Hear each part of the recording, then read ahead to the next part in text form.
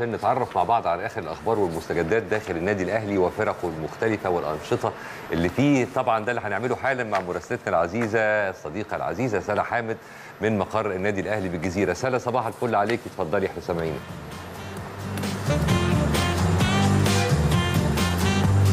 يا صباح الفل يا كريم. وطبعا بصبح على نهاوند وبصبح على كل مشاهدي ومتابعي وجمهور النادي الأهلي في كل مكان.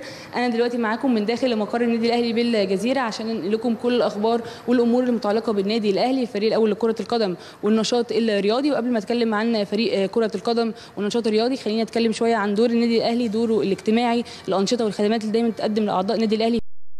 مشروعه فصول محو الأمية اللي بدأت يعني من حوالي أسبوعين ومستمرة الحمد لله للأسبوع الثالث الأسبوع ده يعني الفصول دي بتكون يعني شغالة في جميع فروع النادي الأهلي وبتكون عبارة عن يعني أربع فصول في اليوم. كل فصل بيكون فيه خمسة من العاملين الدارسين ومدرسة واحدة فقط بتكون يعني عضوة من عضو متطوعات للعمل وبيكون معاهم كمان مشرفة عضو من أعضاء لجنة المرأة. بتكون متواجدة عشان تشرف على العمل والفصول يعني إزاي مستمرة على مدار اليوم. خليني بقى أنتقل وأروح لأخبار الفريق الأول لكرة القدم بقيادة المدير الفني مستر بيتسو موسيماني وبعد الحصول على الميدالية البرونزية بكأس العالم للأندية وراحت لمدة 48 ساعة. الفريق بيعود مرة أخرى للتدريبات النهارده إن شاء الله.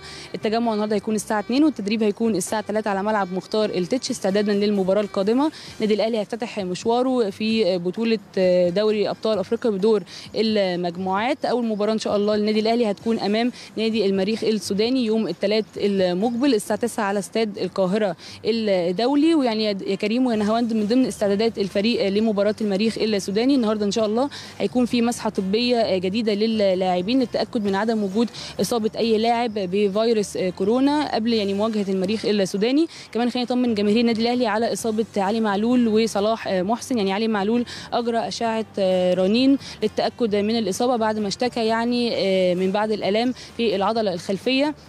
بعد الأشعة يتاكد من الإصابة بشد في العضلة الخلفية وبكده يعني علي معلول هيحتاج يعني فترة علاج ويعني فترة علاج برنامج تأهيلي وعلاجي يعني هيمشي عليه لمدة أسبوعين وبكده يعني هيكون علي معلول هيغيب عن التدريبات الجماعية لمدة أسبوعين. ده بالنسبة لعلي معلول.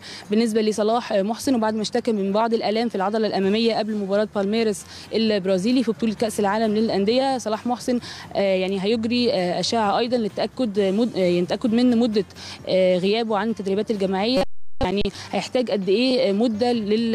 لل... لل... يعني للتأهيل وللعلاج بعد يعني ما اشتكى من الإصابة دي. ده بالنسبة لي أخبار الفريق الأول لكرة القدم. خلينا نروح لأخبار النشاط الرياضي وكالعادة هبتدي بالفريق الأول لكرة السلة. سيدات النهارده إن شاء الله هيتمرنوا الساعة 7 استعدادا لمباراة غد أمام نادي الشمس. المباراة هتكون الساعة 6 غدا على صالة نادي الشمس ورجال السلة. النهارده هيتمرنوا بشكل طبيعي الساعة 6 استعدادا لعودة المباريات في الدوري. ورجال الطايرة بعد ساعتين هيوصلوا تدريباتهم على صالة المركز الأولمبي بالمعادي. استعدادا للمباراة القادمة أمام نادي بتروجيت. المباراة هتكون بكرة إن شاء الله الساعة 6 على صالة المركز الاولمبي بالمعادي. ويعني الفريق بيتمرن يا كريم على المركز الاولمبي بالمعادي بدلا من صالة الأمير عبد الله الفيصل عشان يعني يتعودوا على الأجواء ويستعدوا بشكل قوي جدا لمباراة بتروجيت. كمان سيدات الطايرة النهارده إن شاء الله التمرين هيكون الساعة 1 وبعد التمرين هيتجهوا مباشرة لمدينة الإسكندرية للدخول في معسكر مغلق استعدادا للمباراة القادمة غدا واللي هتكون أمام نادي سبورتنج المباراة تكون الساعة 4 العصر على صالة نادي سبورتنج في مدينة الإسكندرية في بطولة الدوري الممتاز لكرة الطايرة. يعني دي كريم ونهاوند كانت أهم وأبرز الأمور والأخبار المتعلقة بالنادي الأهلي وجميع الفرق الرياضية والآن العودة مرة أخرى للاستوديو. نشكرك جزيل الشكر زميلتنا العزيزة سلا حامد مراسلة قناة النادي الأهلي.